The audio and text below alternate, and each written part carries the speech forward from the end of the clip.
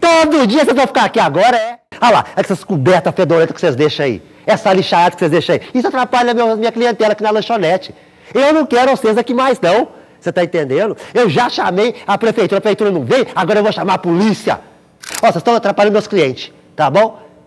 Eu, com cinco anos, eu fui parar no FEBEM do Horto. Minha mãe perdeu a minha guarda. E nisso eu fui ficando na rua, dos 14 até os 30, mais ou menos. Eu, decepcionado com tudo, perdi tudo, resolvi vir para o centro da cidade. Fiquei sentado assim, na beirada assim, da rua, onde eu conhecia algumas pessoas que estavam na rua. E dali me deu fome, me deu frio, e aquelas pessoas me acolheram, me oferecendo o que eles tinham de melhor que tinha uma lata de 18 litros toda suja, com um pedaço de pau, ali eles faziam comida. Antonilton Ferreira da Silva. Eu tenho 41 anos.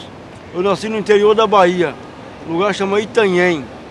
Aí lá eu trabalhava na roça, né? Na roça. Trabalhava na roça. Cheio de ilusão, pensei, pensei que eu consegui um emprego, tive que quebrar a cara. Tá bravo, viu? Tá bravo.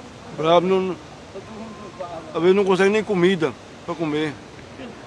Eu nunca fui para os outros bairros, não. Sempre fiquei aqui no centro. Mas o centro é ruim demais, viu? Quando a pessoa chega na rua, é porque ela já não tem mais nada. Nada. Ela não tem nem fé. Até fé em Deus ela já perdeu.